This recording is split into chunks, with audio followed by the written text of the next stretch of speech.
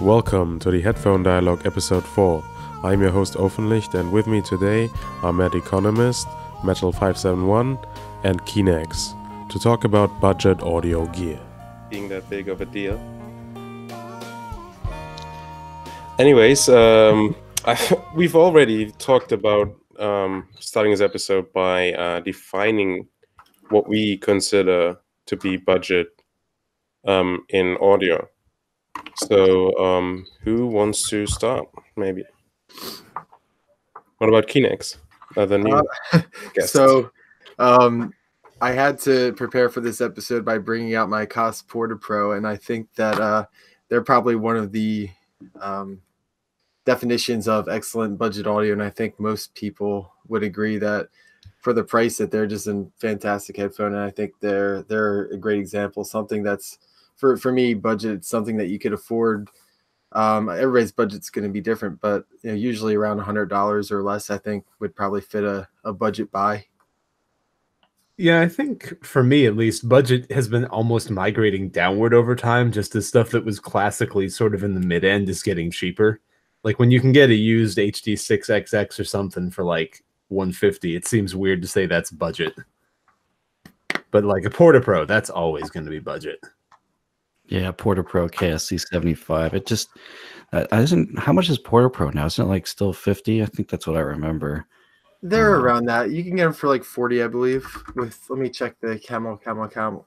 And they've been around for a long time. I mean, even we've got the Massdrop version now with Bluetooth too, which I thought is or is, is that the Massdrop version? I can't. Yeah, remember. I think that's the Massdrop okay. version. I haven't tried that. That's gotta be that's gotta be fun. But uh, yeah, I feel like a lot of the budget stuff has actually been around for a long time too, which is an interesting point. I feel like we haven't had that many entries, say, I don't know, I mean, the last five years under a hundred bucks that have been like really stole the show. Um, so that's hmm. one aspect that's a little different. I'm trying to think. I mean, Status Audio CB1 was kind of in there. That's an okay headphone. Um, I'm not the biggest fan. I actually don't mind the M40X. That's hovers right around the limit of what we want to pay here, nine bucks. Um, but the Creative Aurvana Live is another good one that everybody seems to agree on, though, and that's been around since like what the early 2000s, I think, by now or mid 2000s, something like that. Well, if you yeah, go back to the origins, uh, like the D1001, that was by Denon uh, before yeah. they before they completely changed the sound of it to the D1100. Um, but yeah, that was so that's been around. It's had great lineage um, as other brands, and also as the as the CAL itself. So we all agree that budget is probably around the hundred dollar mark, so and below that, maybe a yeah, little bit like, above a hundred, but not not um not like past halfway to 200 not like definitely below 150 and mostly below 100 is what we consider to be budget at least for stuff with transducers, I guess. I think that's like the common, like sort of the common usage. If someone says, I want budget headphones, you're going to not see that many people saying, hey, you know, get, you know, DT 880, get an HD 600 or something. You're going to see people saying, get a CAL. Yeah. I mean, here's where it gets a little interesting because if you bring in used as an option, then you can say that there are some options just above 100 that uh, on the used market are, are, really interesting. Like if if you can find a 580, I feel like I haven't seen that many of them on eBay lately. But if you can find one, you can have that for around 100 or 120 or something like that. And so if you open up that option, you, you get some interesting, uh, get some interesting new things to look at. Some part of me always feels weird about calling something that's I guess because in my brain, mid-fi and budget are different categories, even though they're, you know, they're not really referenced to the same thing. One is theoretically quality, one is theoretically price. But it sort of it makes my brain throw a gear whenever I think about something on sort of the HD 600 series and budget. Know what I mean? Yeah, well, it's funny that you bring up like the DT 880 because I think that maybe because we've been in the hobby for a while, but the price on them has really gotten kind of nearing budget territory. I mean, I think it's been on sale for less than 150 a few times for yes an excellent headphone. I saw him for 120 recently. I was like, Jesus, what wow. is the modern day? Yeah, looking at Amazon, like you know, third party use has hit $110 on Amazon. Sure, I'm sure HeadFi used or like um whatever the one on Reddit is the the headphone market. Um, AV like Exchange. AV Exchange. I'm sure you could get it for around 120, 110 there used, no problem. Yeah, it's a really good price for what you get. There's a lot of value nowadays, actually, in a lot of headphones. I think it's really something that's so nice about the time that we live in is that you can pick up something for less than a hundred dollars that you know sounds a hell of a lot but better than something similarly priced from 10 years or 20 years back even though a lot of the budget stuff that as you guys mentioned is not actually that new well, it's interesting because I think a lot of budget stuff is stuff that was released along, you know, relatively long ago. I mean, I, th- I was gonna say earlier, I think maybe we should also consider that it takes time to get a budget hype going, which might be another part of it. But like a lot of it is just stuff that's been the same price since like 2005 at the latest. And so, you know, as other prices have risen, you know, it's maybe gone down a little bit, but here we are sitting around saying, man, look at those budget, you know, HD, uh, whatever the new uh, the new five nine eight is, or you know the five the five six nine five five nine. That's the close back. The uh, the five seventy nine. That Sennheiser messed with the naming a little bit. The five fifty eight is now like a five seventy nine, and the five ninety eight is like a five ninety nine, and the five eighteen is a five fifty nine. So that's a different tuning, the the lower end one. It's wait. Like, so what's is there a five nineteen now, or is the did they just jump no, directly? To, yeah, oh, okay. Went, yeah, they went right to five fifty nine. That's confused a lot of people, and rightfully so. I, I actually heard all three of those back to back, um, and yeah, the five fifty nine sounds like a five eighteen. it's it's wow. a lot more bloated and mid bassy. It's it's a different. Why do they do this with the numbers? I do not know. Don't get me started on Sennheiser's numbering. That's that's an interesting one. I mean, I'm German. I don't understand that, so it's really a problem. I don't know. But you know, it's it's funny that we mentioned how like with headphones when we're talking how a lot of them are, are classics that that we consider kind of in the budget range now. Um, when you look at in-ear monitors or earbuds, anything from maybe 2005, if it's even even still made anymore, it's probably not recommended because with like IEMs or or earbuds, I feel like you know budget for that changes every other every like six months. There's a new you know $20 um, in-ear monitor from china that that's coming out and taking the, the world by storm. Yeah i was yeah, gonna bring that up. I think that's the i think that's really the range where we're seeing the most new products. Yeah, but not a lot of the new products have any staying power. So you, have got a lot of releases, and then maybe the first couple of weeks or even months, it's there's a lot of talk about them and they get praise from uh, different sources but then it just kind of you know goes away. It just uh, slowly fades away and and then you know people move on to the next one. There's not many um, of these smaller chinese brands that have a product that actually you know stays in the top recommendations for uh, the span of years you know besides old stuff like the VSonic GR7 is probably the best example for um, the, an IEM that's like right at the limit of what's considered budget, but um, it's legendary for what it is and for what it offers. Yeah, I was going to bring up the sad that it's now being discontinued. Wait, again? Oh, really? Are no, they discontinuing all of them, or uh, is it yeah. just another of the 07X slash no. removable? No, it's it's dead. Uh, yeah, I think oh, they're moving, they, are renaming it and, and putting it into a new shell. Uh, the driver. Ah.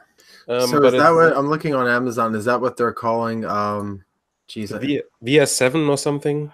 Uh, they have one called the Aries, the VSonic Aries. That's got kind of like a very 1950s futuristic styled um, body shape to it. Is that what? Can we get that up on screen? Let me pull up. Um, I'll pull up the link that I see on Amazon. They're sitting at the two hundred dollar range, so I guess they're like one ninety even. No, those are not the ones. Okay. These are, I think, a separate model. Um, so uh, this is the, the VSonic Aries.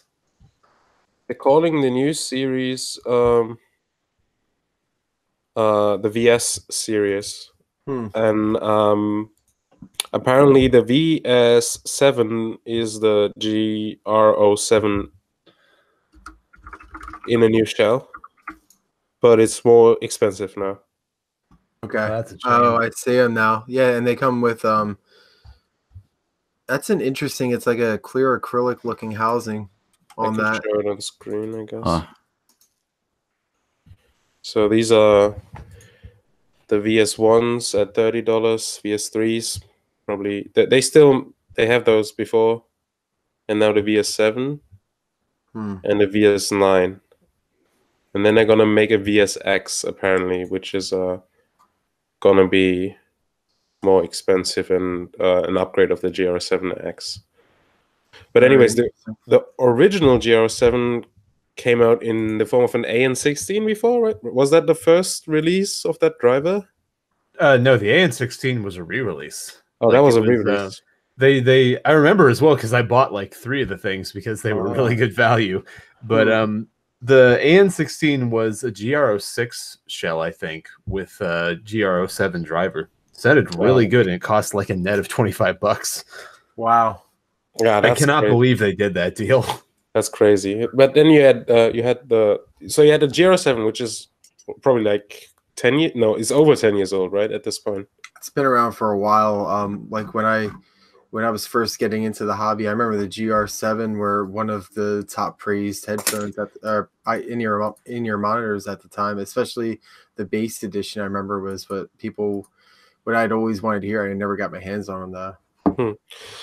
So yeah, I, I, think I, the B was like the re-release, so it must have been even before that. Yeah, the, the, the original one didn't have there was no bass edition. That I know that, but I I, I came way later into I came to the VSonic way later because when I bought my first one, there already was the classic edition out, which is the re re release, I think. so that was actually like that was after the AN16, I think and they re-released them as the classic and the base edition. That was mm, no, the classic actually came before the AN16, but then they God. did another classic, I think. Thank God you're here to fix my timeline. This it's like terrible. I can't understand it because then they added the X, and like, yeah, they they didn't really do a great job on their branding either. So can we like actually just retopic this whole t- like podcast to what are ha- what's happening with names? I don't know.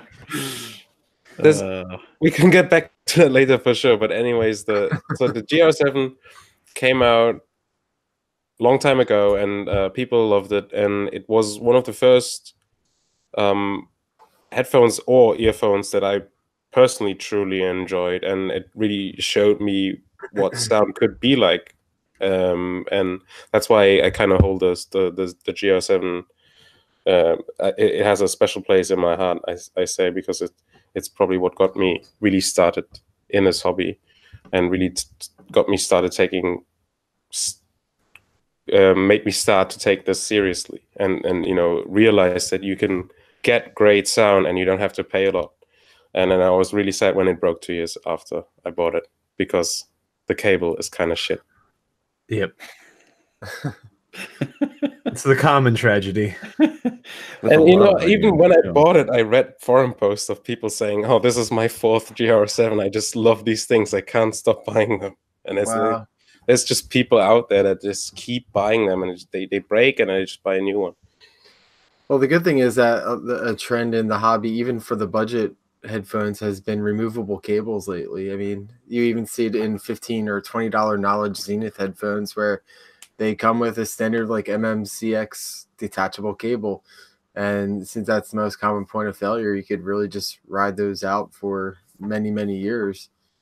It's really, really, incredible on that front, honestly. Like when you think about how much, uh, like just the connectors and the labor to solder for and the cables just cost. It's shocking how cheap removable cables are. Yeah, it's yeah, almost to a point where it's like you know, hey, so my my Shure, you know, my Shure whatever cable broke. I just bought a KZ, you know, whatever, just for the cable. Have the spare earphones just in case. that's actually that's actually a really smart idea.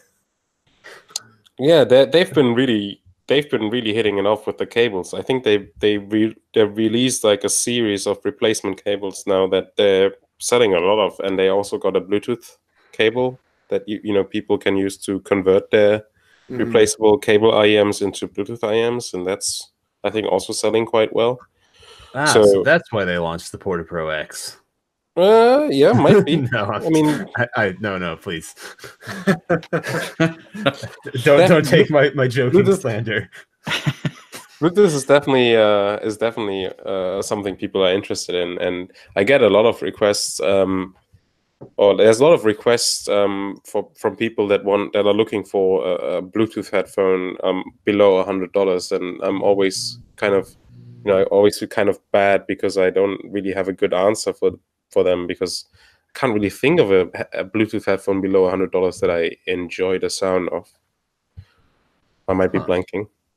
Does uh, anybody of you? Does anybody? Hundred dollars? Yeah, or like uh, maybe under under 150. Let's say 150 is like.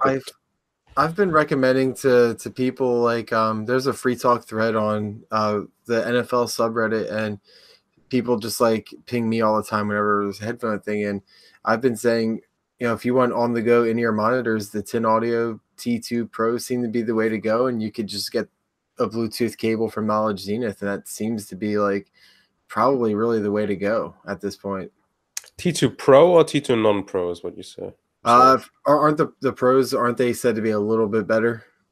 Uh, so what I've heard is I haven't heard either. So this is all hearsay, which is generally not a good thing. But uh, I've heard from trustworthy sources such as Kyle uh, that the uh, T2 is actually the the one that has the better tonality, and the T2 oh. Pro uh, just adds a lot more uh, mid treble or lower treble, you know, to make it seem more detailed.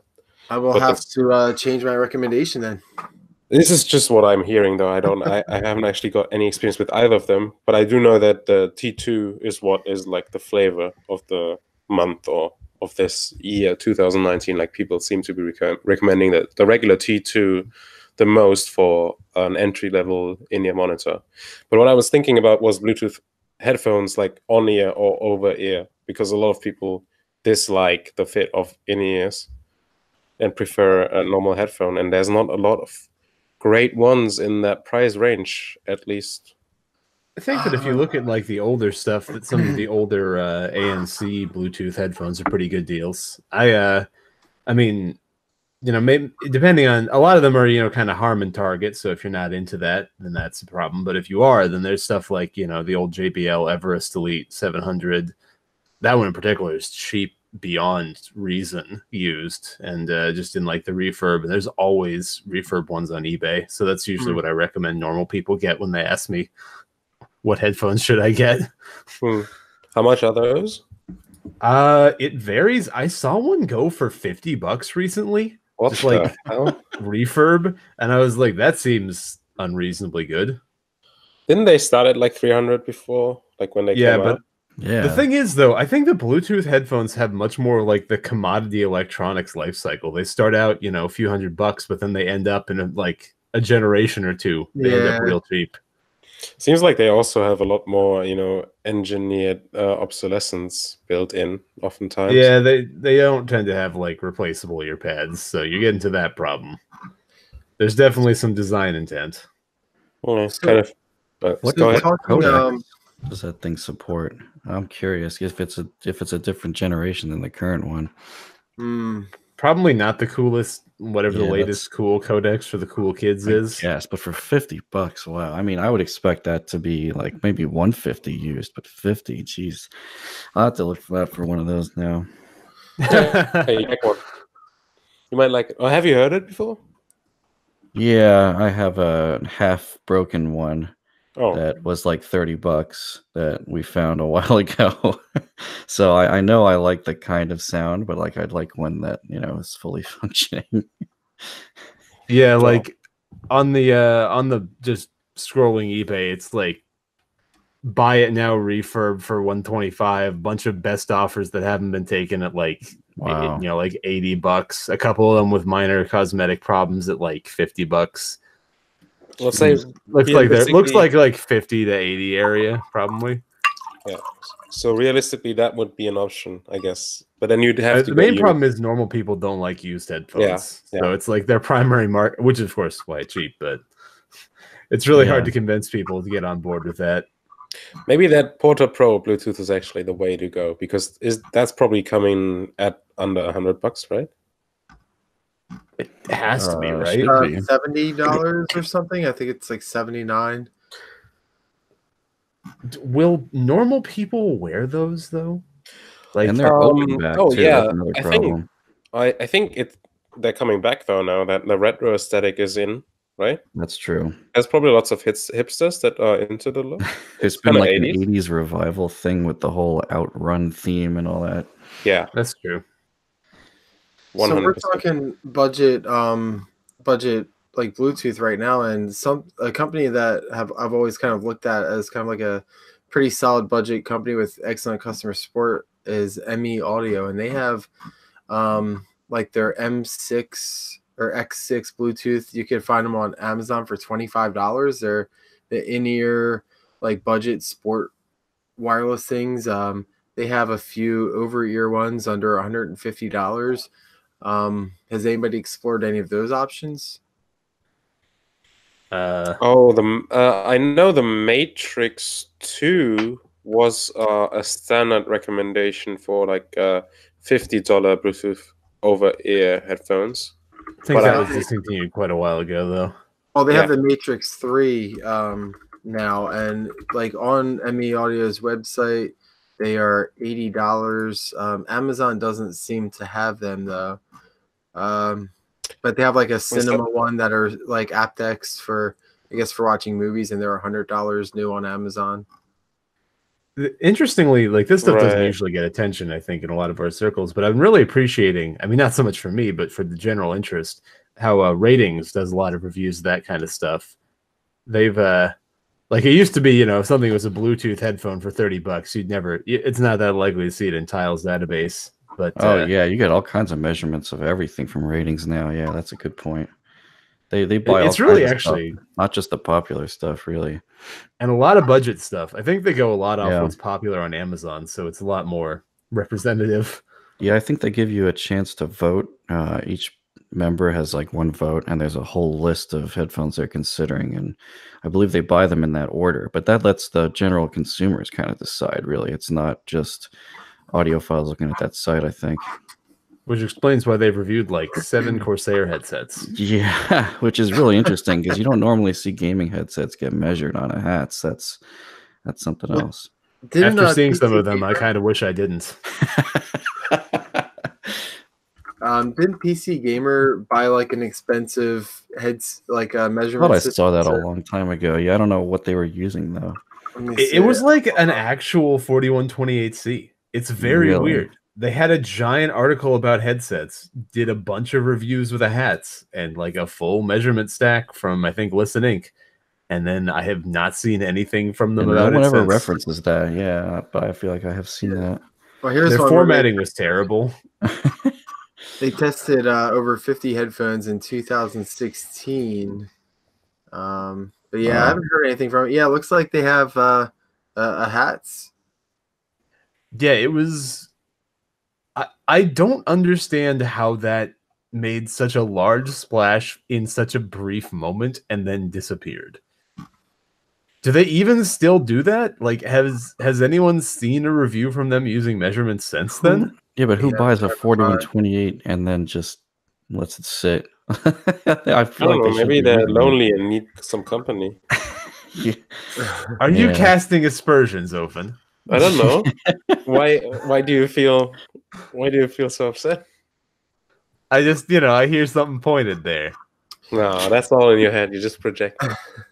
so hmm. um, I'm looking at PC Gamer right now, and they have um, they have their top gaming headsets of 2019, and none of the none of the reviews I'm looking at actually have a measurement.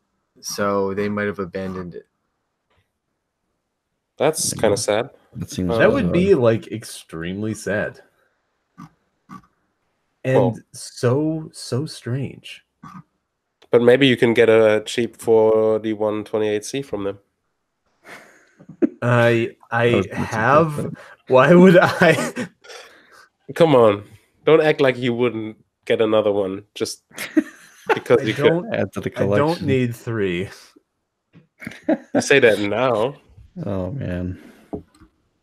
That's Listen, interesting. Rtings recommends the Samsung UFlex as their best budget wireless headphone. Apparently, I mean, you got to flex. Yeah. Is that over ear or is that an in ear? No, that's an in ear. Oh, okay. It's like an in ear with a neck band. It looks very weird.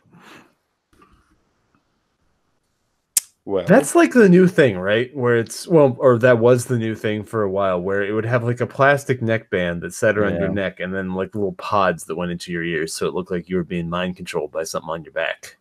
Hmm.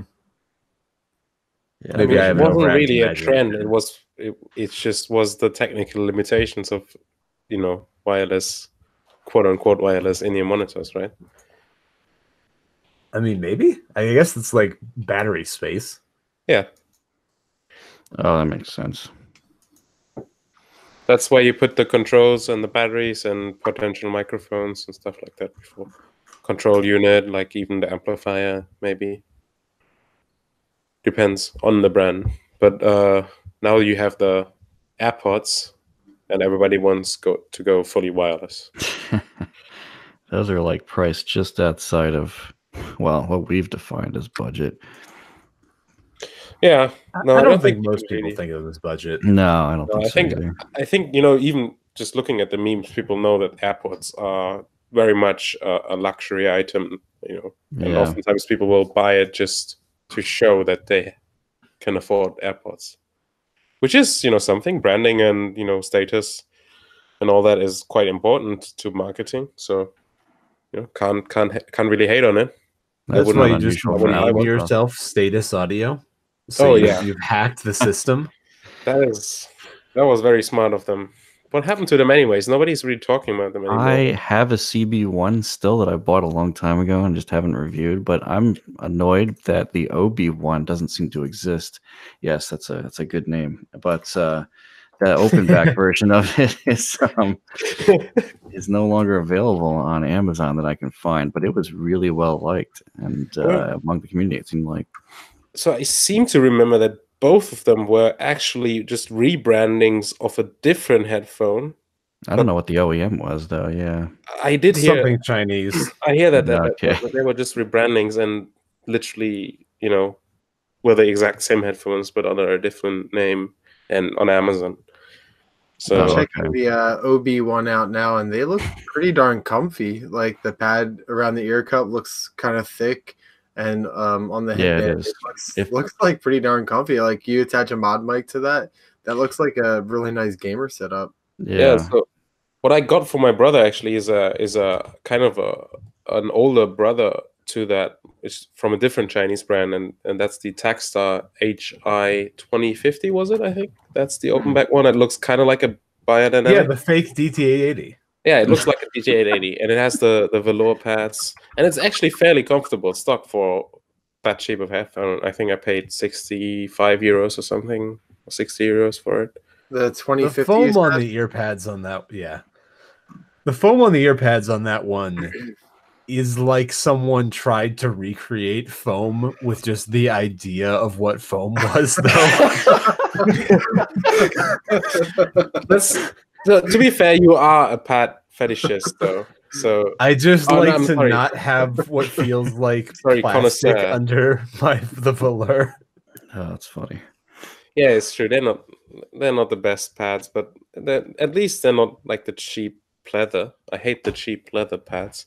I gotta agree with you. I'd rather have cheap filler pads. Yeah. Uh, what what uh metal Jason, what uh cheap Sennheisers did you have at the time, like the 500 series? Um, I, all I remember is when I put them on, the pads sounded like I was putting a diaper on my head. It was cheap sounding material. It's like this sounds awful. Just put did it I, on.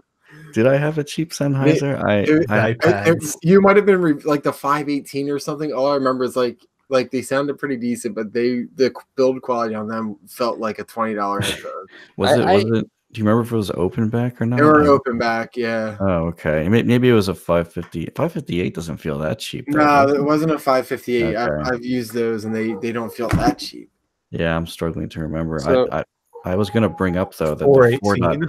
419? The 4.40 BT is very popular on Amazon. I don't I don't think its frequency response looks great and I think that driver I have a 4.20s which I believe is the same driver uh, which I also bought out of curiosity. This happens sometimes with cheap stuff and uh, well, it didn't sound that great to me. There was some kind of resonance going on in like the upper mids low treble.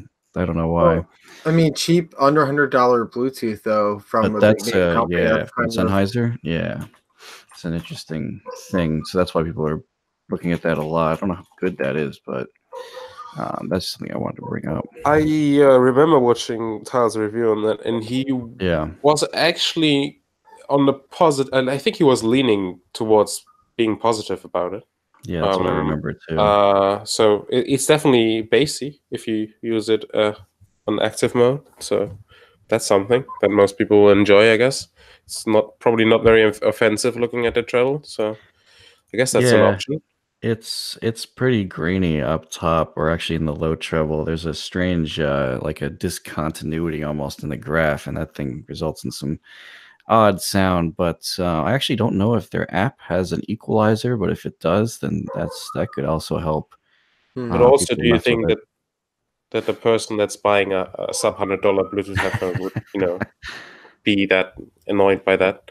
Yeah, I, I, think that still sound is. I think better. It's a lot better than a lot of the stuff that's out there. I mean, Tyler reviewed a, another.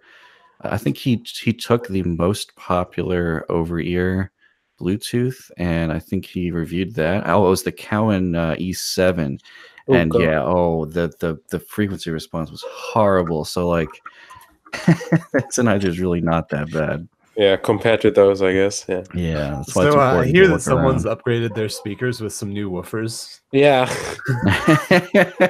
oh, is that my do- you hear my dog? yeah. Right. Um, well, I don't know how to resolve this. Um, it's fine. Don't worry. I will it. step away for a minute. I could step away for a minute. No, no, don't worry. Okay.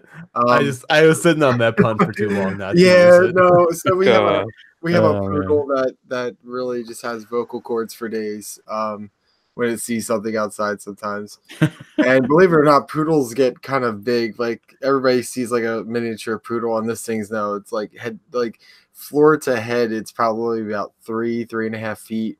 And like standing up, it's six foot. It's just such oh, a ridiculous. Man. Yeah, that's a man. I hate admitting this, but a poodle bullied the shit out of me when I was a kid. It was like a full size poodle, and that's when I was ten. That shit was the terror of my neighborhood. I was gonna say, didn't everybody bully you when you were a kid? But wow, maybe a little, maybe a little harsh. That's Just harsh. So, um, back to the, back to like uh, somebody brought. It's a good thing somebody brought up Takstar because they had some big hits within like the budget range. And uh, another company that seems to have fallen by the wayside now, but I think most of us have had have at least at least listened to one of their headphones are the uh, the Superlux brand. Yeah. Oh, yeah. oh right. I always think of them as being Takstar. Yeah, no. they, they had a few headphones. Now I'm looking at like the 668B, which were kind of like a warm signature, kind of reminded me of um uh what the K240s or something kind really? of. Yeah, I, I think well, the 668B is yeah, I was gonna say I, th- I think it's supposed to be modeled after a DT990.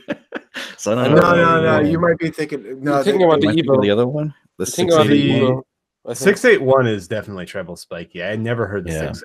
Six eight one is brighter than a six six eight, but they're both got not like little trouble I'd say not inoffensive. Yeah, it's it's a little bit much, but it. I think it, the frequency of the peak wasn't that high, so strangely no, it didn't no, no. bug me too much. I think the six sixty eight B's got that that bass bump though. Yeah, that was one of the big differences. I mean, look at these though for I'm looking at a used pair right now for $29, brand new $39. I mean, I remember I actually really enjoyed my time with the 668B. Um, I didn't hear the 6881, but I did hear um, the 681 Evo, which were the closed back. And for, for the price, I mean, that was the, the, the comfort was probably the biggest issue I had with them. Other than that, they were pretty solid headphones. Yeah, those were like 30 bucks for the longest time, I think.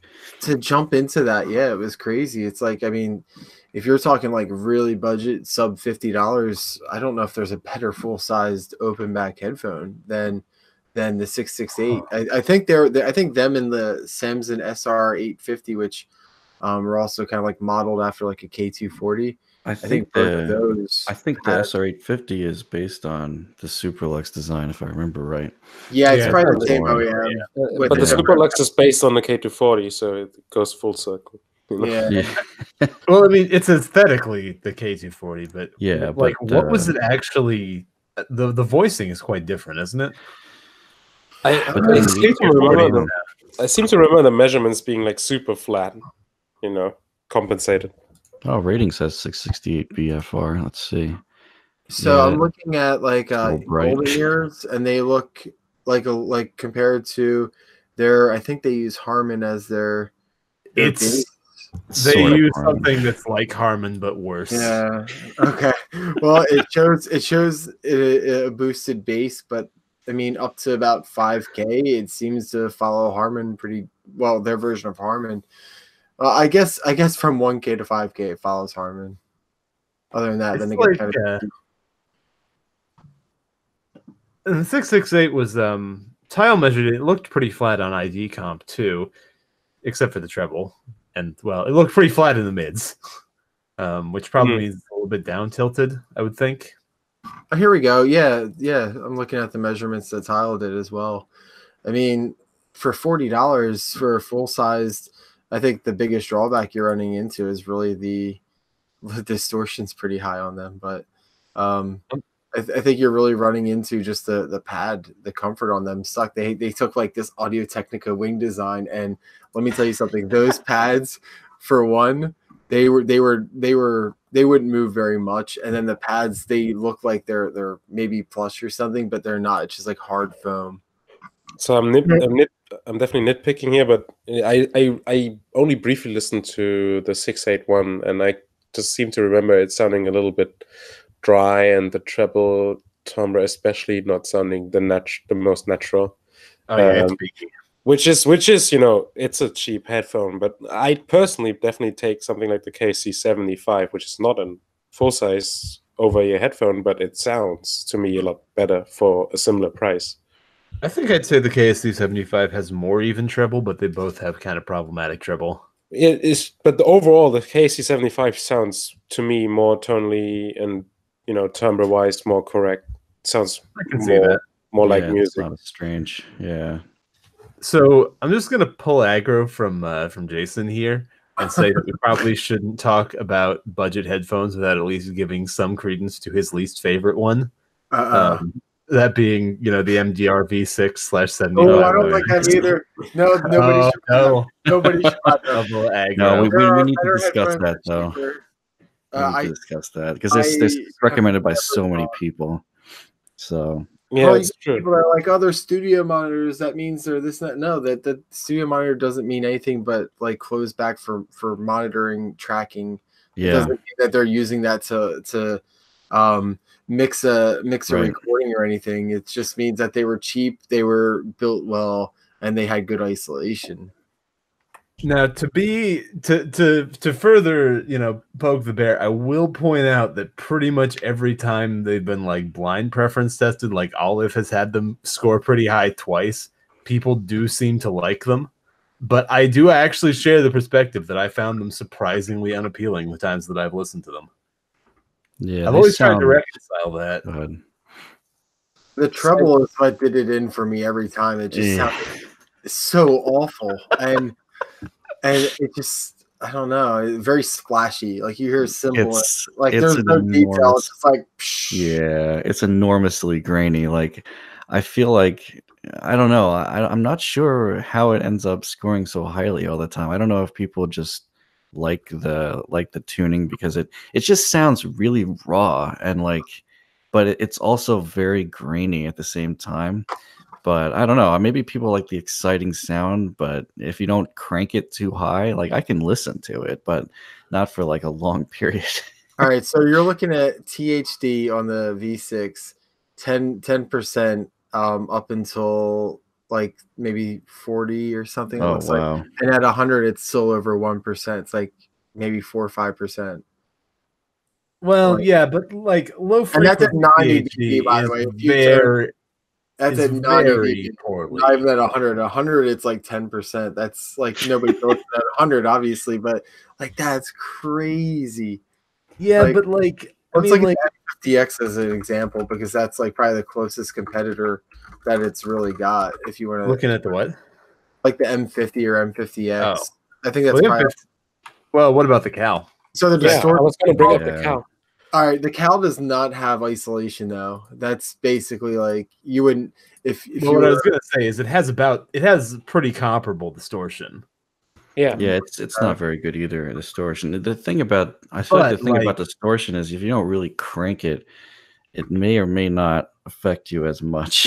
if you want to do huge bass boosts or like giant volume, you're gonna have a problem. But also, yeah, and I'm really skeptical of lo- particularly low frequency THD as a measure of quality. Yeah. Like every time that gets tested, it's really hard to hear.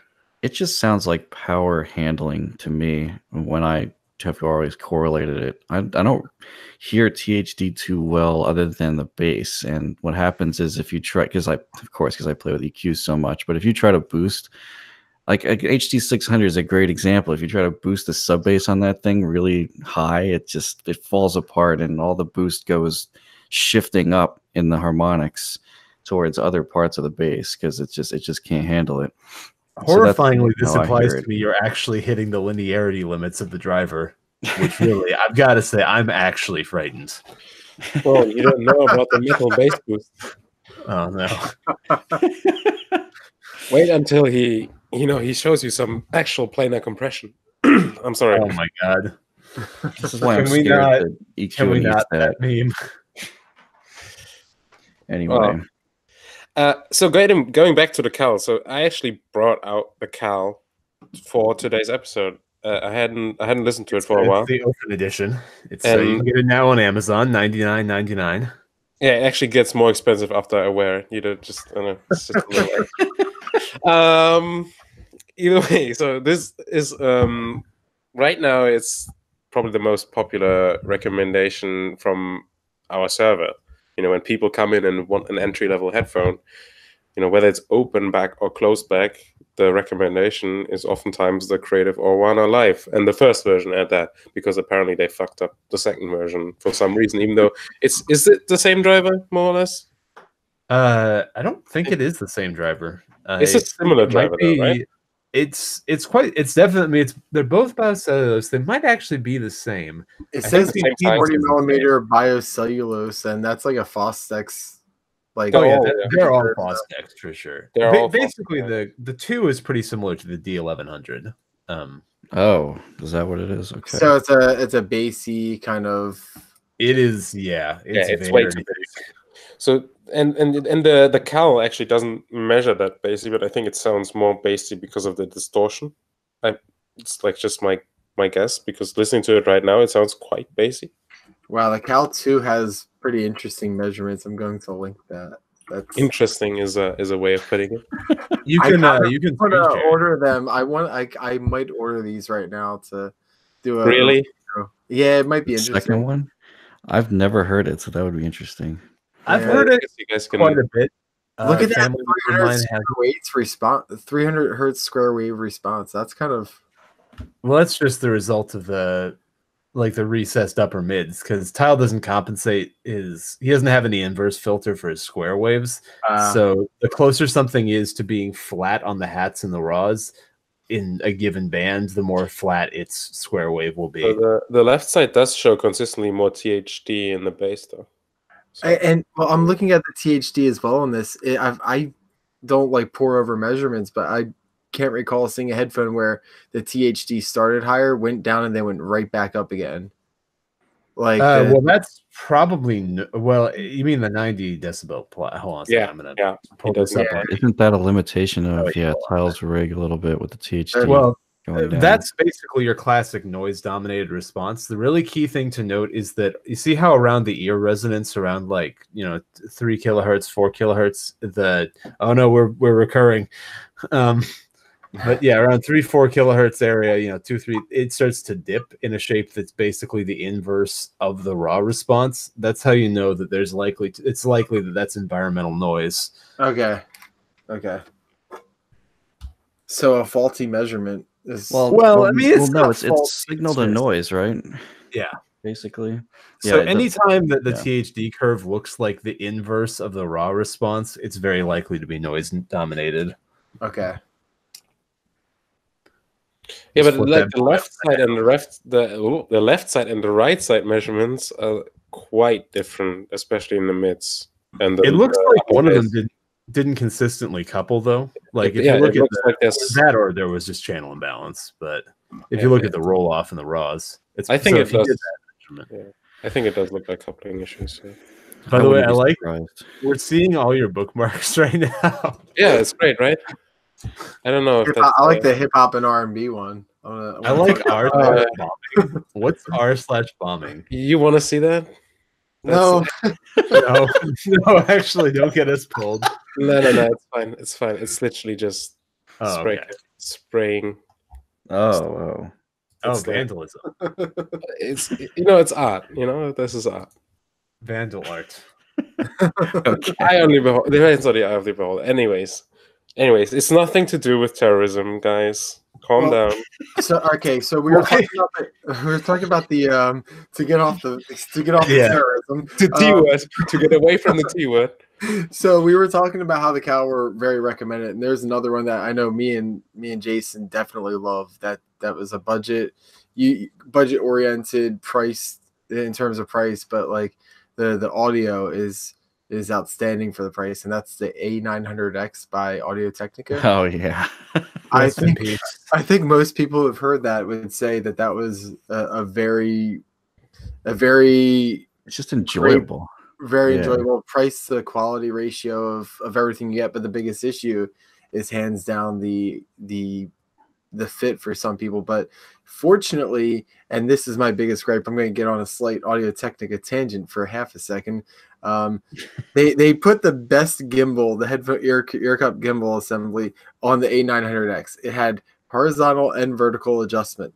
They didn't put that in the W5000. They didn't put that in the W1000X. They didn't put that in the one W1000Z. Um, the yeah. biggest issue is like the the fit, and you're you're not going to give it more adjustment. Anyway, A900X. Um, I still haven't heard the A9 a990Z. Yeah, that's um, the new one. I'd like to get my hands on that, but that's now you're pushing like 200 plus. Yeah, I've heard those. I've heard the. I was gonna say one of the one of the things about. I'm sorry, I'll just let you get back in a second. But um, one of the problems with the A900X, well, one obviously it's discontinued, but two, like what price do we like it at? Because I think originally it was 300, but like when I saw it, and it was like a hundred dollars. That I can get behind. I, yeah. I found it. I, I paid. I think I paid 149 in 2015 for it, and I think that's not that far off. Maybe a hundred bucks yeah. is more fair, but 149 no, is not out fair. of the question. Yeah. Wasn't yours yeah. the one though? What? Oh, yeah, yours I I really still don't know if if all of them have a slight channel imbalance or if it's just my pair. I even had it like I even sent it in for warranty just to see what they would do, and they said, "Nah, it's fine." of course, just, I don't know what's up with that. It just matches your ears. It's been molded to you by now. Yeah, right. Uh, I actually sold it once, and then the guy decided that he was going to sell his collection, so I bought it back. And now I don't think I'm going to let go of it anymore because it is a really, I don't know, I like to call it a special sauce kind of a sound. It's a, it's a very interesting headphone to listen to. Interestingly enough, it actually measures somewhat like the Atticus. When I looked at it now, it's a little bit like that. So it kind of makes some sense since I like that headphone well, as well. If you, if you compare measurements, the MDR Z1R measures somewhat like the Atticus as well. That's a good point. Yeah. Depends on your perspective. Yeah, I've never tried equalizing a Z1R. I'm not sure if I want to, but I, think, I think I heard the Z1R. I think that was that was that what I had, Jason? The Z1R over here. I don't remember if we ever heard that. Did we? Z1R is the big Sony. It's a big oh, cup with the NSFW cups. What's the what's this? What's like the two hundred dollar close back?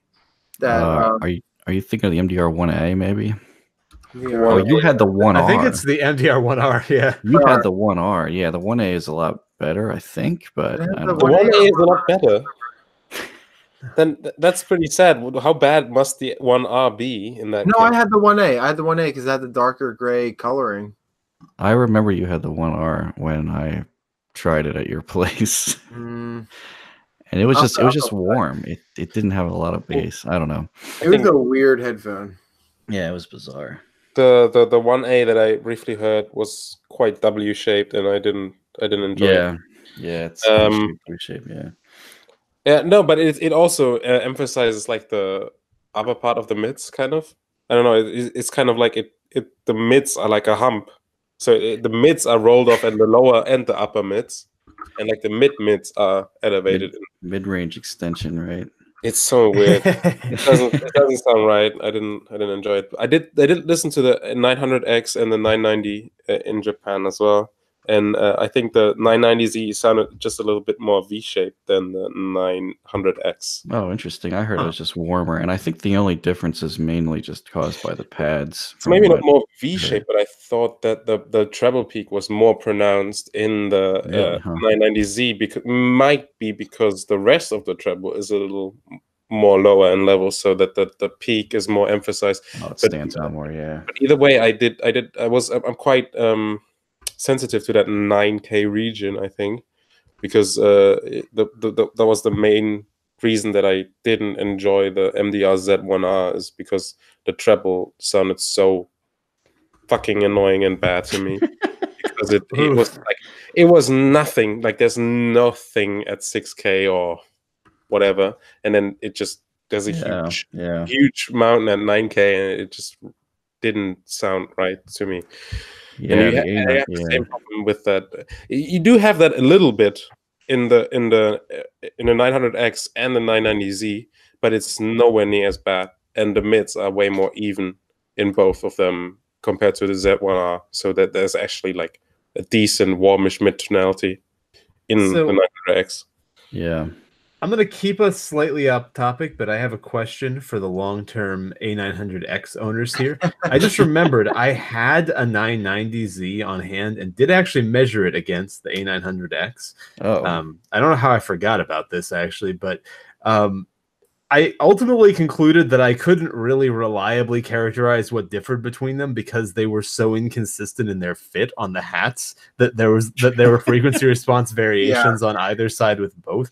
Do you guys find that you notice that subjectively? Oh, 100%. And that's why I've always said that any Audio Technica wing design, take the measurements with a grain of salt. You're never getting a reliable measurement on there. All Tyll's, Tyll's, um, measurements on them, just kind of disregard them, to be honest uh, they've never sounded you. That's the one thing with Audio Technica. Like you'll hear from objective objectivists and subjectivists. It's that uh, they don't sound like they measure, and I, I it's why I don't care about measurements for Audio Technica, the wing design ones. It's it's it's a fruitless effort. It's especially bad, I think, with the ones that are missing the uh, what is it, the vertical hinge. Yeah, that one Oh man, you, you're you're preaching to the choir here, Keanex, because I actually have an A1000Z in house now that somebody sent me that they want reviewed, and oh man, I was just playing with that last night and the A900X, and the fit is so annoying without that that hinge. I don't understand why they keep removing it.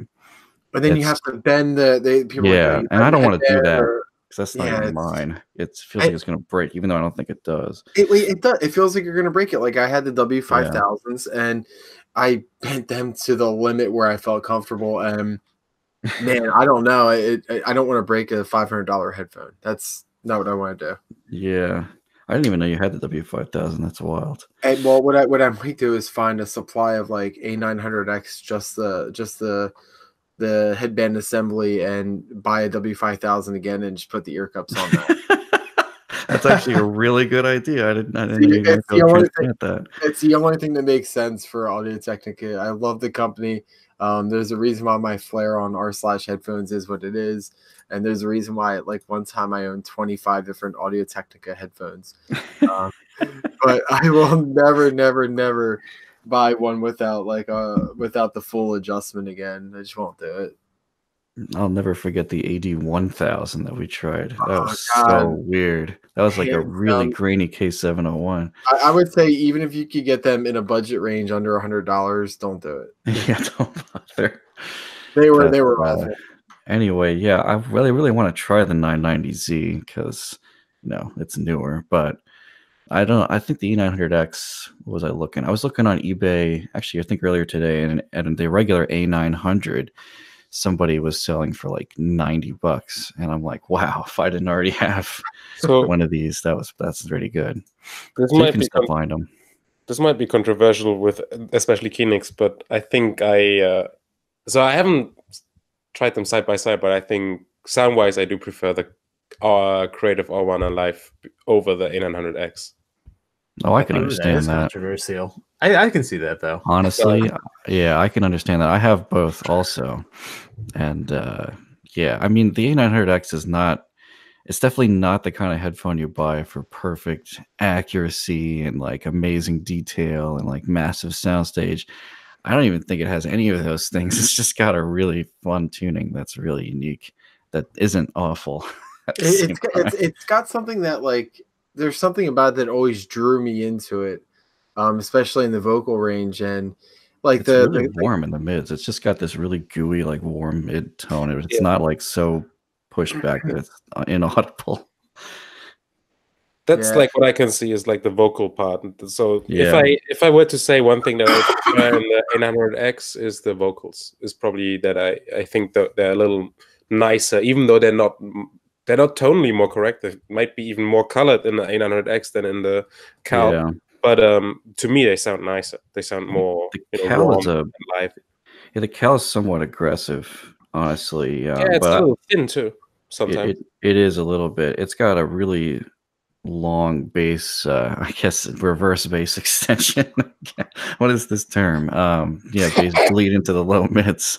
Reverse bass extension i invented a new term you just which nobody should ever use. Between this one and mids extension we're getting like really well characterized in how things extend. Oh that's ridiculous. do do Beyers have reverse treble spike extension it just extends downwards. Yeah, right. Yeah, sure. It rolls off upwards, you mean? Reverse roll. Oh god. Exactly. let's, not keep this going. That's awful. So the if if the DT eight eighty are have revert no well I guess the DT nine ninety were the worst offenders that I had heard. Um so if they have what did you say reverse treble ex- extension? yeah, exactly. Um, so the HD 650 have where where, where are we talking? Inverse about? treble extension. Inverse? Okay. Yeah. meet meet in the middle, and you're you're you're doing. I'm just I'm just glad we established that. So now we can move on to something. Now all the viewers know exactly what we mean with reverse terms. Yeah, it's about exactly. as uh, it's about as it is easy to understand as a Sennheiser's model liner. Mm-hmm. Yeah. yeah. Okay, come on, give us some credit. Yeah, you're but right. It's not that bad. Anyway, I did want to comment on the on the treble though with the A900X. I definitely noticed the 9K or 10K peak too, and Keanex is not going to like this, but I also EQ that thing out by like three or four dB. you know, you might actually fix it if you EQ up the rest of the treble. So yeah, that you could try that too. That's just because that's know. that's what I think is is causing me to dislike the Utopia so much. Is the or not really? disliking it so much, but the treble part sometimes. I thought you know I have the exact same thing.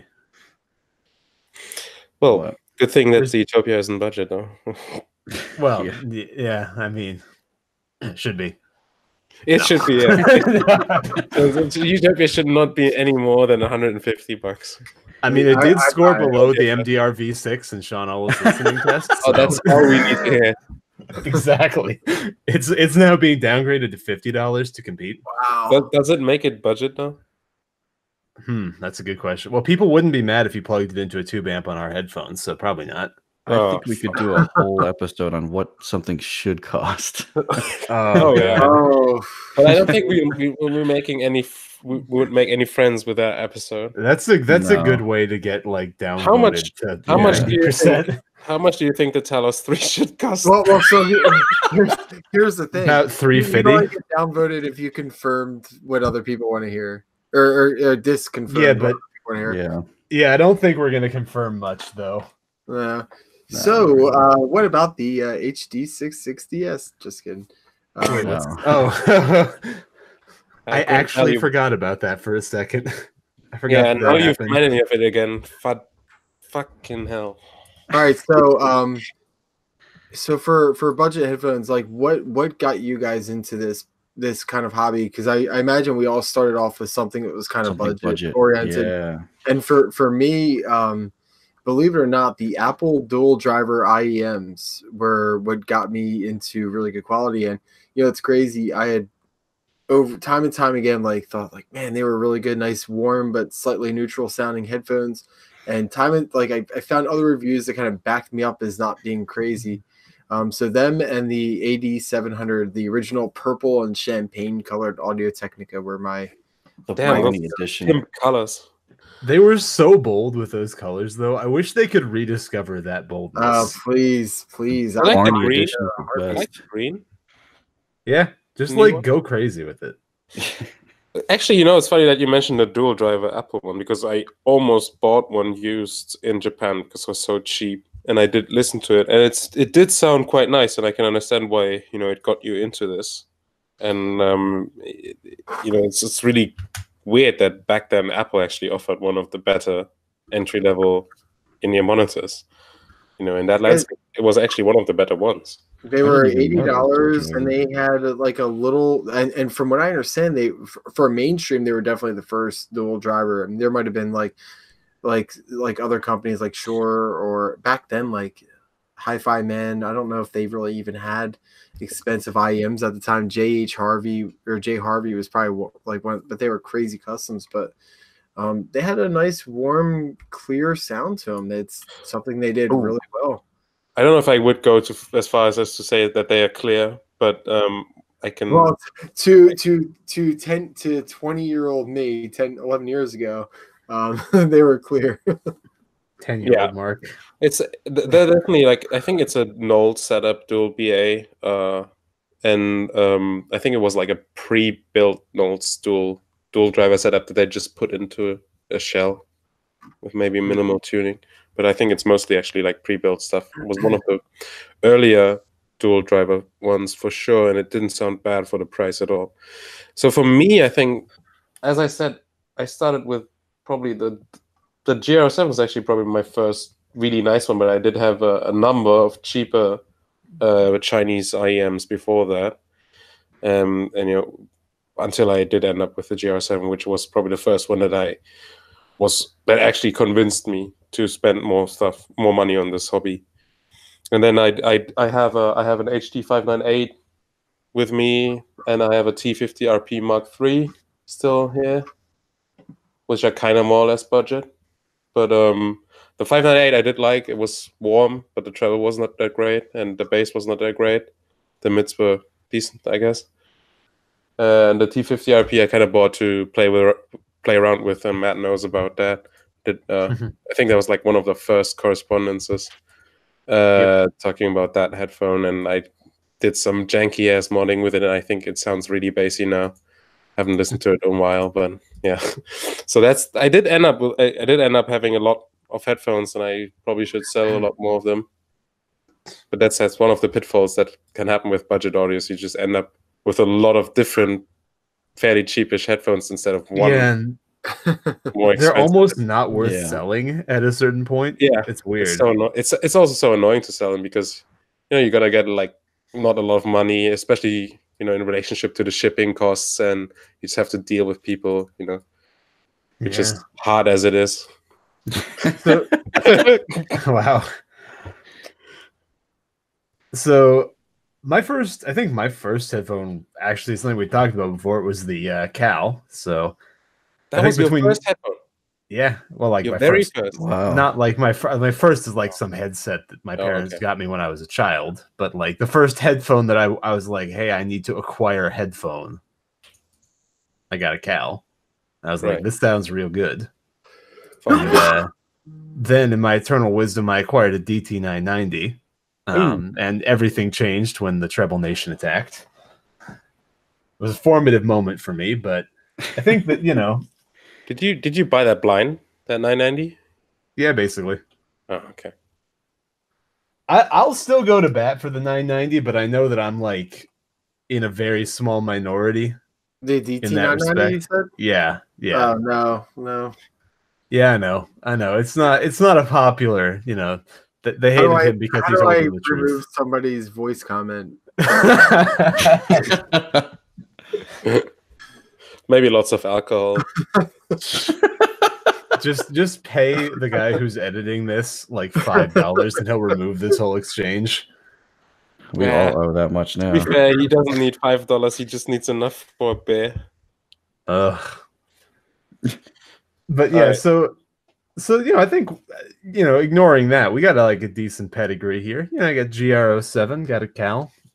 Yeah, we got kind of lucky on the start. How, how, let me ask you a question. How did you uh, how did you decide on getting the Cal? Because I don't think that's a very. You know, I read Keanex's. I like. Yeah.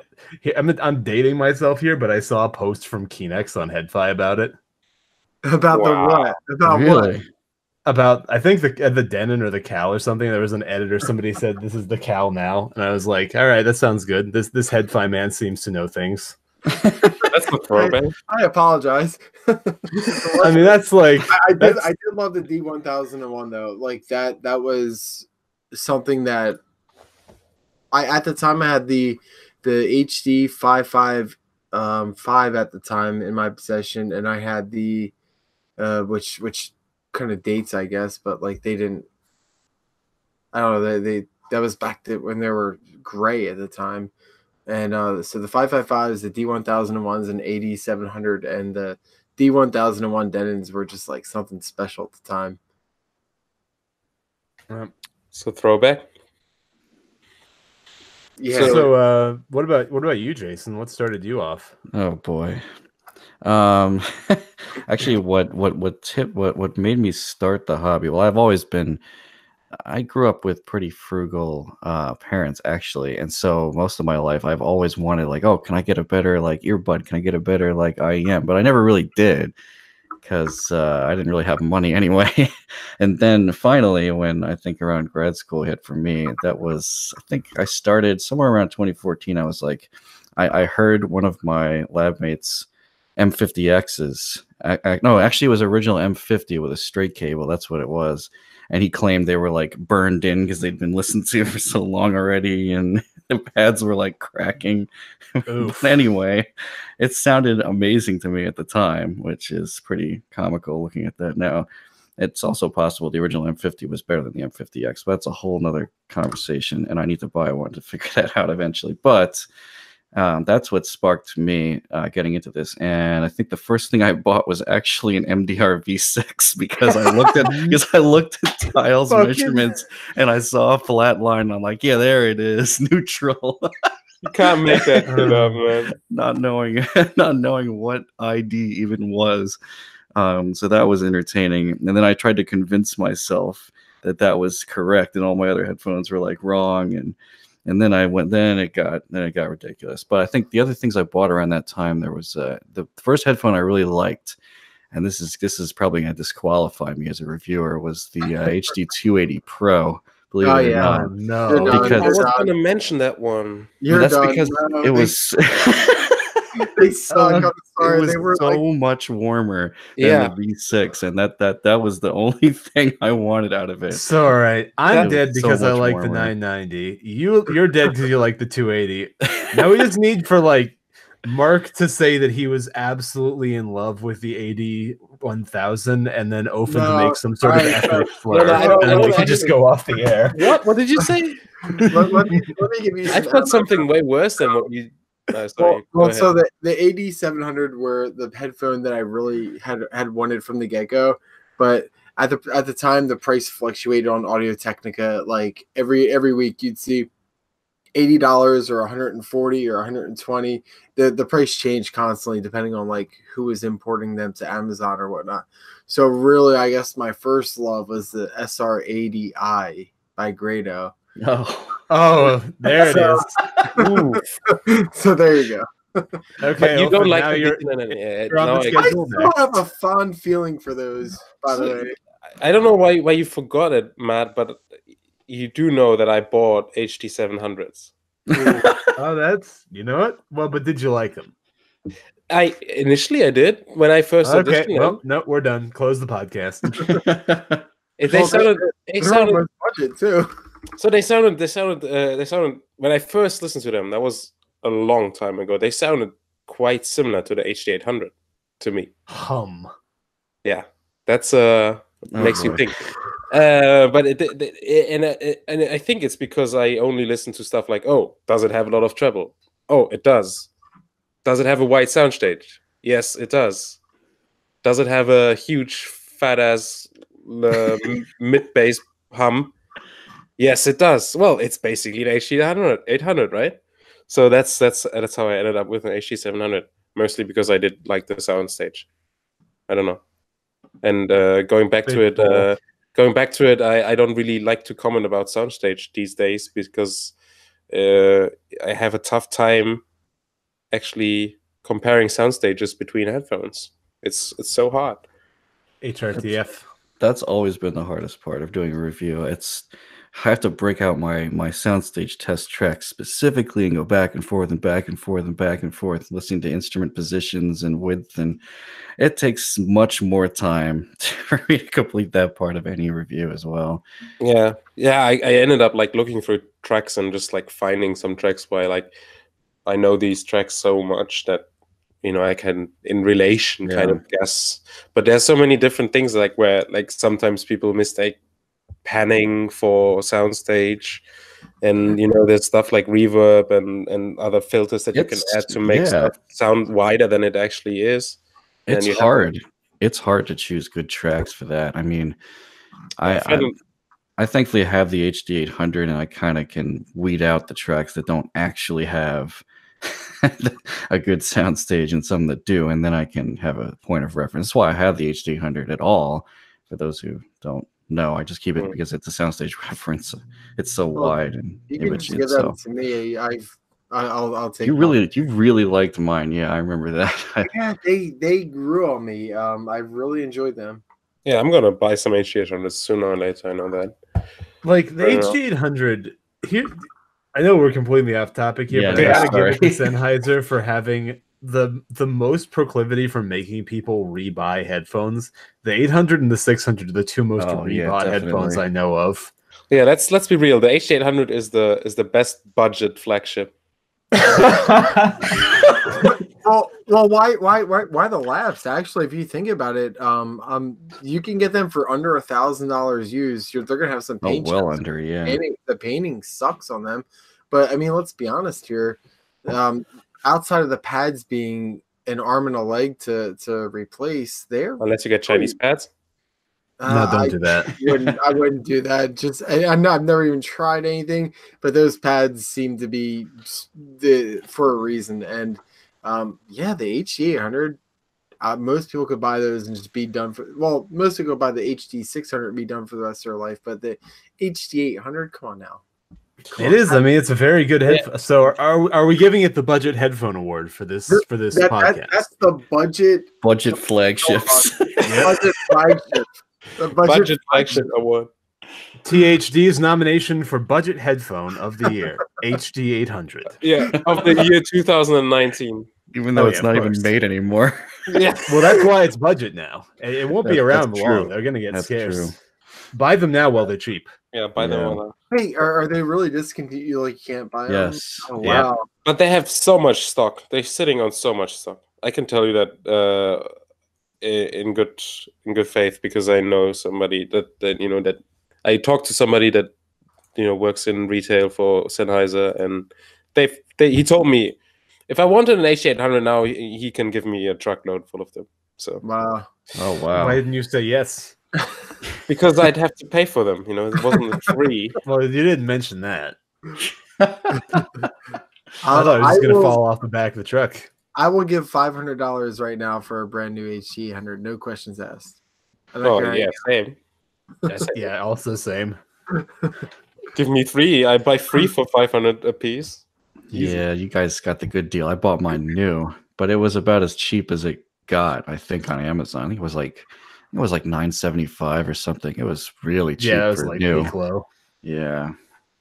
So So joke we were joking about like an award for for budget. Like what what would be um your your guys' recommendations for an in-ear monitor, a closed back, and an open back for getting into budget under a hundred dollars? Real, real closed back or just nominal closed back? Uh, real, real, real I'm gonna closed count the back. Cal. because Oh, the, come cal, the on. cal the cal the cal have to be kind of counted in. Can can the cal be my open back then? They, they can be. Yeah, That that's works. fine. Yeah, that's completely fine. Oh. Let's think. So, So- So for under a hundred, um, for for closed back, if you could find a use A nine hundred X, and so we, we're counting use then. are, are, are we not are we not counting? I think that I think a uh, hard mode is because if we count used, you can be like, oh, get you know, get a used A900, yes, you get can a get a used 580 for like 880 100 or yeah, 580 or yeah. I don't think that's also used IEMs are gross. Change my mind. No, that's that's like the that's like the one I'd rather buy more than anything because you throw the silicon tips in peroxide and that's that's clean and rubbing out. Yeah, but that's clean. It's the only one that's been inside of someone else. Well, I Oh, hope the only one's been inside of someone else's body. But, like a full Hmm. size, full size, like I don't know how greasy somebody's hair gets, or like if they smoke Yeah. in their house. Like that's full size. Really, is kind of the grossest if you think about it on, on a logical level. Um, I just don't want anything that's been inside of someone's orifice for any reason. Well, It's a hard line. I'm sorry right, that so yeah. not all of us are comfortable with our sexuality, but maybe Wow. one day, man, maybe able to cope Freaking with. wow. Okay, so Oh. keeping it to new. Yeah. All right. So new budget, closed back, open back, and in-ear monitor is what we're talking now. And you have Uh, 15 seconds. No. Does anybody have a list already? I don't have I don't know enough about IEMs to give you a recommendation on that. Right. So you can skip on that, I guess. So I'm gonna I'm gonna throw I'm gonna throw a wrench into this a little bit and say that I think people should try the HD 200 Pro actually for an actual closed back. It seems like a bizarre 200 Pro? yeah, it seems like a bizarre recommendation. It really belongs in the four series. Um, Tyll measured the 471i, which, as far as I can tell, uses the same driver. And what's interesting was he actually said, I believe, in his review that he dethroned the Cal using that headphone because it had much better harmonic distortion in the bass, in particular, uh, which was kind of odd of a recommendation to do. But it's definitely a lot warmer of a sound. Um, if, if, if you're coming from a consumer, you know, kind of tuning, people are probably more likely to gravitate to that. Cal's a little bit aggressive, but that depends on the person. So I can't, you know, assume. But really, it's it hasn't been bad for me. I actually bought one of those out of curiosity. I think they're like I want to say sixty something bucks. And yeah, HD 200 Pro is just a four four series. Like I, can't say 4XX or 4X0 because people are going to think it's the hi-fi man. But yeah, so, so, that, so that's that. I'm going to go with that on close. I mean, I like the A900X. I like the Cal, but um, I, I wanted to bring that up. Um, and then for open, yeah, it's really hard to pick something other than the Cal. But if I had to, and you really want to get something open, um, I would not say the SHP 9500 in case somebody thought that was coming. I would s- actually, I don't even think those are made anymore. If no, I, think they're right. dead. Or no, Yeah. It's the S now, right? I, I don't even know if that's me. Anyway, um, I'm actually going to say that the K240 is fun, and that's going to be really um, controversial because yeah. it has a lot of bass um, uh, roll off, a lot of bass roll off, and but it's it's an interesting, it's a fun flavor headphone that sometimes I preferred over the K or Q701 while I owned those. Uh, because it's not as not as not quite as drastically colored as those are. That's an interesting headphone. So those are the two I'm gonna pick just to you know be a little different.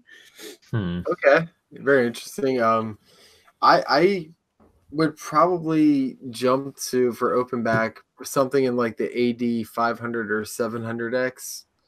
Um, and it's not just because I love Audio Technica; it's because they're, they're they, if you're buying an open back, you're probably looking for in a budget range. I think a lot of people are probably looking for a gaming headset, and it's really hard to beat either one of those for a gaming headset. Especially, I mean, they, they sound good for music, but uh, for for a nice wide sound stage and positioning, the AD 500 or AD 700X. But now this is gonna we're, we're circling back now to where I'm going to get attacked uh, for open oh. for open back. I still have a very fond thing for like the SR60 and SR80. They're under a hundred dollars. Oh, boy. And, and listen, they they are not refined. They have issues, but they have a really cool aesthetic. This old school aesthetic, and for like for just engagement, they have a really good way of drawing you into to music. So, and I've listened to the I've listened to the E version actually, so I can say that even with listening to like the 600s or or other headphones that they still have this drawing in sense to them. And the cost Porta Pro obviously like under 50 bucks are, are fantastic. For IEMs, I really haven't heard much, so I don't have anything to say on them.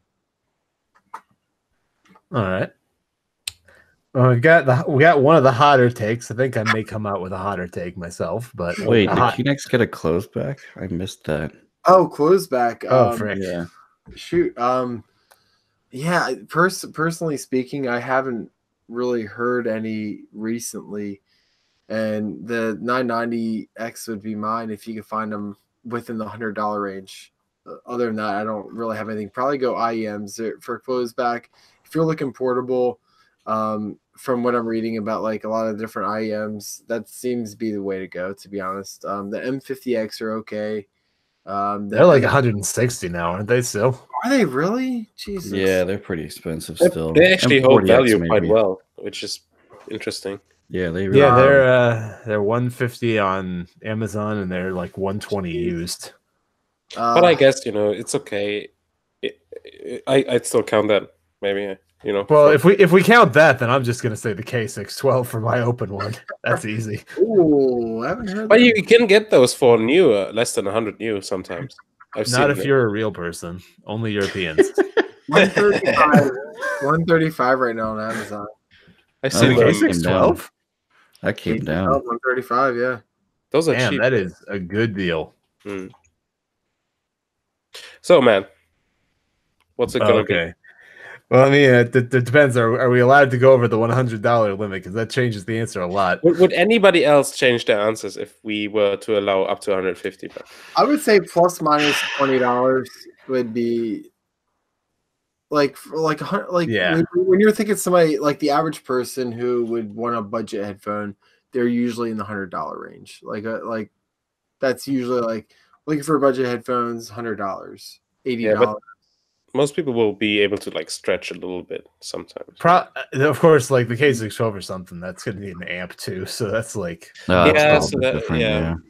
Oh yeah, definitely, definitely. I think when we're talking budget headphones, like I, I, meant to bring this up when we were trying to define it a little bit.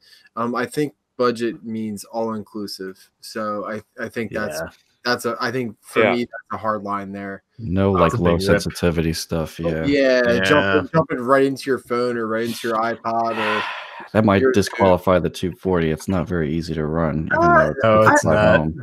I didn't yeah, think that they were super bad, like running off my like I, I had them at I had the K240 at the same time. I had like the 8700 Oh, really? Okay.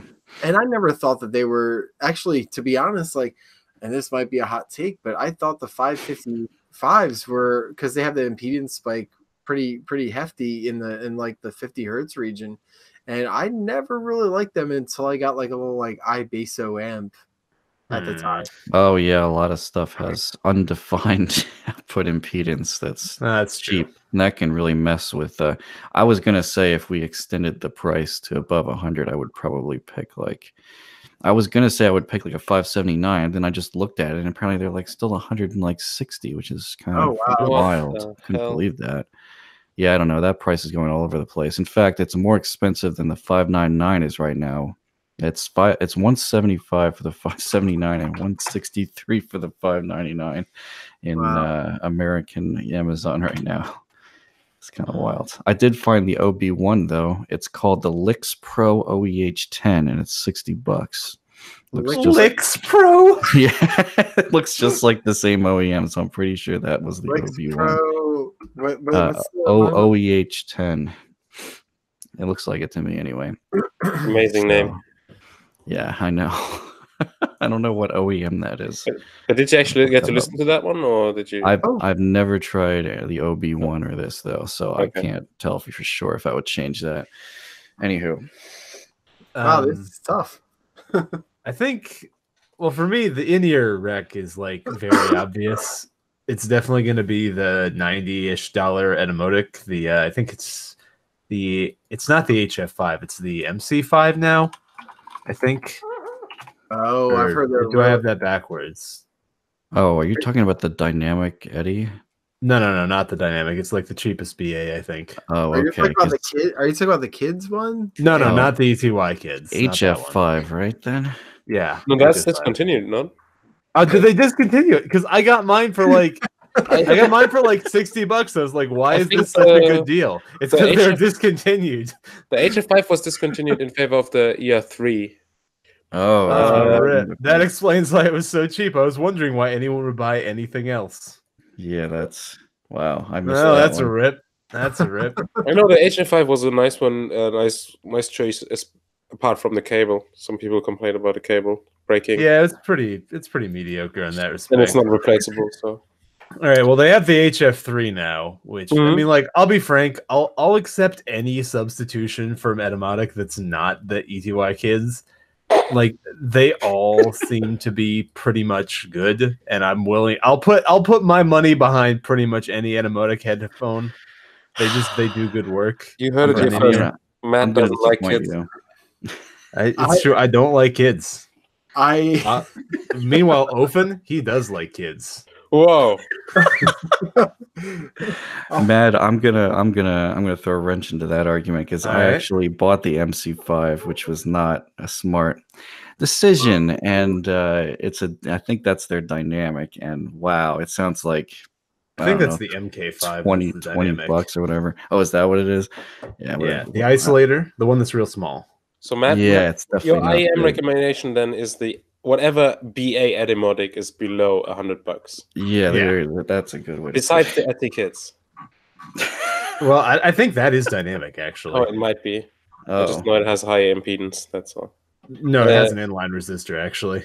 Oh, Yeah, that's that. That was their volume control solution. Was just make it, just put a resistor in there. Um. That's- that's the Anyway, easiest, easiest way, I guess.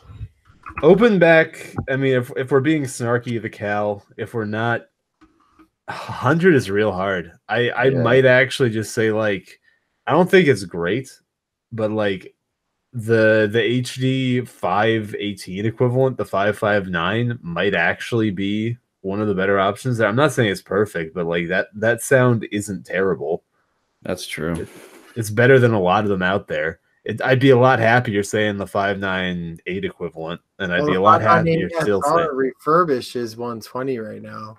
Yeah, I mean, like if you if you can put out the 598, that sort of thing, that's pretty good. I you know, I said I'd be I if someone said, "Hey, I got a hundred bucks, I want open back," I'd say save up fifty more bucks and get a K612 or a DT880. But you know, if you got it, you gotta. Yeah. And I think if that if you got it, then the the you know the 518 equivalent's pretty good. So For I, closed back, the hot take, I would actually say probably try the Sony. I'm actually we're- we're the, so- the MDR-V6. oh, get out of here. I, would- I would You say did the that just to bait you. M40X I would say the M40X if I'd actually heard it based on reviews, but I'm not going to recommend something I've never heard. I I used have to a- daily that thing. It was really a lot more even than the M50X sounding. It was surprising, but Eh, it's still got the same issues with soundstage and comfort and whatever. And the build quality is not quite as good. And it doesn't come with a short cable in the box, which really confuses me. Uh, Yeah. But other than that, it's fine. So, well, then I guess I gotta gotta say mine. Um, and you gotta have a hot take too. We all had a hot take. oh, my hot- my hot take is that the Cal is a closed back. Maybe okay, no, it's banned. no, no, no, you can't do that. it, it technically has a closed back. Veto. Sides are open. You know, the back is closed, so by definition, it is a closed back headphone. Can we get a can we get a group support for veto here? I I veto. I, I, Yeah. That leaks more sound than probably my AD700s. Ah, Okay. at. Hyperbole, obviously, but if they no, are but up and back. But yeah, I we're throwing that one out. I know, Throwing, I you're mean, throwing it- out, really? Well, I mean, it's the thing is when people say closed back, they don't mean the technical acoustic principle. They mean does it leak the noise? That's Yeah. what the consumer cares about, and it does leak the noise. But who cares? You still can still wear that in public. Oh God! Imagine that on the bus. You'd be deaf by the first stop. Well, well, you know what? I've I've brought my Porta Pros out in public many times. Yeah, right. So I was I was gonna say I was gonna say Cal for close back, but if it, if I can't say Cal for close back, then the only other close back headphone below hundred dollars that I can say that I've listened to and that I don't completely dislike is probably the ATH M40X as well. Okay. Maybe maybe. The, oh man, I'm trying to think if I'm not forgetting anything that I listened to. Uh, yeah, I, w- I was gonna say Cal, but uh, you guys say Cal is not closed, so I can't say Cal. Then I gotta say M40X, I guess. Um, but if if I have to recommend M40X, I would recommend going with IEMs over closed back headphones instead. So I would recommend the GR7 myself or uh, an GR IEM. seven isn't that cheap. If Yeah. the GR seven was that cheap, I'd have wrecked Yeah, it. You can get it for 100, 100 bucks. You cannot get it for hundred bucks new. No. not new. Not new. You can. It goes on sale regularly below 100 bucks. Does it? Can Yeah. you link it to me when it does next, please? Yeah. I can. I've let me- only ever uh, seen it like one thirty. Yeah, but that's a detachable cable one. No? Uh, yeah, but I just haven't seen the other ones. Yeah, like- this is crazy. I'm looking at like Camel, Camel, cheap. Camel, which like tracks all the the pricing and Oh no, we're dude. Five has been. no, guys, you don't understand. We're already wrecked. He he he's played us like a damn fiddle because Wait, what? What's Where's happening that? right What? Wait, what? it was a setup. You manipulated this. you guys just don't believe me. You can hate us. All right, so so we all do like the Cal. That's that's a We, given. we, so so Yeah. definitely the cal is a recommendation whether you want a closed or an open back. You know, it- you It's gotta keep in mind it leaks. It's not built the greatest. Uh, it's got a non-detachable cable that's not the greatest, and it's quite short. Saying it's Um, not built the greatest is kind of charitable. It's made out of balsa wood and hope. Well, uh, but you know, mine hasn't broken yet, and it sounds very, very good. Especially if you can get it for fifty bucks, which uh, you know it oftentimes goes on sale for. Um, and you know, I, I I was gonna say Cal for my close pack, but it's not considered close pack, so I say M40X. But then I say get the GR7 over the M40X if you want something with isolation that's portable. And for open bag, you know, it's tough as the other said there's really kind of a void of what i say presents a good value at $100 for an open back headphone there's like a little bit above that you can get um, for new the hd 558 or 598 equivalents from sennheiser uh, or the k612 if you have a little higher output device um, or used stuff like a used hd6xx which is an amazing headphone um, and below that, you can get cheaper open backs. Like, uh, you know, would you guys consider the KSC 75s as an open bag? Yeah, Of Or- course. Oh yeah. So there we go. I prefer those over the Porta Pros, and I think they sound really, really good for the yeah, price. big agree there. And uh, you get a good warranty as well if you're into that. Um, Well, it's a nominally good warranty. It's kind of hard to justify the cost of shipping. true, true. I know people who own three KSC 75s and wait until they're all broken to ship them back. That's very economical. But you can get you can do that because you can get three KSC 75s if you shop right for less than 100 bucks. You can get three heads if you shop right. You can get that for like forty five bucks or less. Well, it's a it's a crazy value. There you go. So that's that's definitely my uh, recommendation for an open back budget headphone because I I'm gonna say get get something really cheap that presents a good value or save up a little more and get something nicer if you're gonna go open back because it's for home listening and proper listening anyway. So yeah, those are my choices. I think I think the one thing that we all kind of had trouble with as as um, hobbyists who've been in the hobby for a while and who have heard 300 400 500 dollar headphones I 2000 4000 yeah I, I, think i think the one thing is that we all kind of had a hard time really finding headphones that we'd really put our opinions behind and i wonder if that says something about us or if that says something about about how the hobbies is maybe changed um, because like the sr like the grados used to be highly recommended um, there, you I feel true. like there was there used to be maybe a, a larger um, selection of headphones under a hundred dollars, or maybe it just felt that way because we didn't have the knowledge. It's uh, something that I've been thinking about for the past like 15 minutes or 10 minutes, whatever it's been. Yeah, and, and you know, choices. Your choices will also depend on what what stuff you value about headphones. There's I know a lot of a great deal of people that value comfort above everything else, and there's yep loads of headphones that they won't even consider because they don't feel comfortable they don't feel nice on their head mm-hmm. and you know they they if, if they want a budget headphone they will just get whatever they find most comfortable or there's other people that will look for something that's aesthetically pleasing to wear you know if they're going to wear it outside they want something that looks nice and mm-hmm. they, they won't consider anything that looks ugly and, and if i recommend them something like the a900x or something they will laugh at me and oh, what uh, are you saying about the how the A900X looks? Listen, I am, charming. I am over here triggered. I am, I am absolutely. Oh gosh. Maximum trigger on Keanex on that uh-huh. Dude, I look like an idiot at the office, I swear, trying to wear the A900X. I'm sorry. I agree with these guys. you just don't have the courage to rock it. well, he does it clearly. I do it anyway, but it still looks crazy. I did I did take a picture of a guy wearing an MDR Z7 outside. Wow, bully. Whoa. I never posted it. Well now you're but now you're talking about it behind his back. How's that bullying though? Oh wow. Like how's how's cyberbullying even real? Like just walk away from the screen. Open 2019. Tyler, How Tyler, is cyberbullying real? Classic Tyler quote. I love it. Yeah. Yeah. oh man. So I, uh, I left out the turn off your TV. Oh, turn your monitor. Yeah, I left out the, the the one thing you can't say, but everything else. It's kind of Listen. paraphrased as well.